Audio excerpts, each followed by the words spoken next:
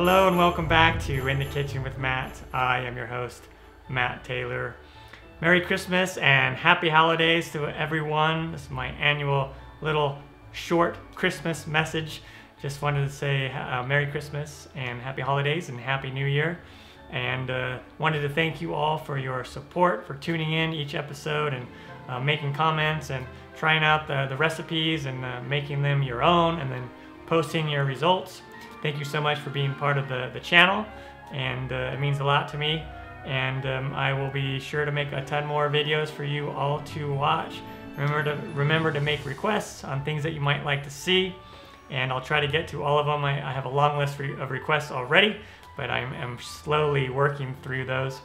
Um, so yeah, um, hopefully you and your families will have a, a, wonderful rest of this holiday season, and I'll probably post another video before the beginning of the next year. But uh, anyway, Merry Christmas, Happy Holidays, everyone, whatever holiday that you might be celebrating during this time of the year. Once again, this has been another episode of In the Kitchen with Matt. Thank you for joining me. As always, if you have any questions, comments, or requests, put them down below and I'll get back to you as soon as I can. Thumbs up, down the corner, push it.